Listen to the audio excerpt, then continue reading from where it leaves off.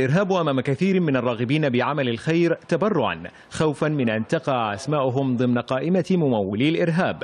إلا أن الجمعيات الخيرية المعتمدة سعت لإيضاح موقفها بعرض مسيرة التبرع حتى وصوله إلى المستحق مما جعلها تحصد جوائز الشفافية والوضوح ومنها جمعية زمزم للخدمات الصحية التطوعية. الجمعية الحقيقة حازت على ثقة آه، العديد من آه، يعني أصحاب ال- ال- الفضيلة اللي زكوا آه، عملها.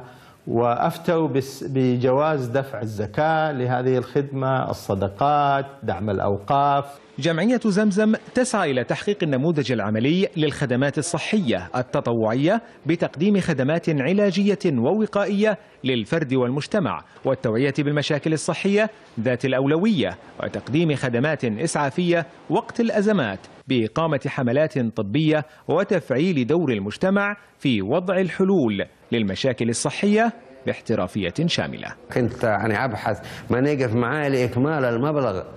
من أجل شراء بقية المواد لأنه كان هناك علاج كيماوي لابد أن تأخذ زوجتي بعد إجراء العملية الجراحية بعد التدخل الجراحي وأخذ ال- ال- المرض الخبيث من صدرها. تملك جمعية زمزم قافلة طبية مجهزة بعيادات تتجول بين القرى والهجر بحثا عن أصحاب العوز الطبي وتقديم المساعدة لهم بعد الكشف وذلك بالتنسيق مع المراكز القروية والجمعيات الخيرية المعتمدة وإبلاغهم بموعد وصول القافلة ليكون العمل بطريقة منظمة وآمنة. بدل ما المرضى يجوني أنا على مكتبي الخاص وأنا أتابع حالتهم وتأخذ مني الجهد ومن موظفيني فالجمعية بحكم إدارتها وخبرتها في المجال هذا بيساعدوني بأن هم يأخذوا مني الدعم وهم بيتولوا دراسة الحالات الطارئة. حققت الجمعية خلال ستة أعوام إنجازات طبية لأكثر من عشرة آلاف حالة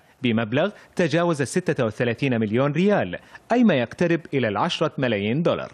عبر برامج العلاج الخيرية باعتماد كامل على أموال المتبرعين والزكاة مما يجعل المتبرع مطمئنا بأن تبرعاته ذهبت لمكانها الصحيح وبإتاحة الفرصة له بمتابعة سير التبرع لمن ذهب عبر موقعهم الإلكتروني.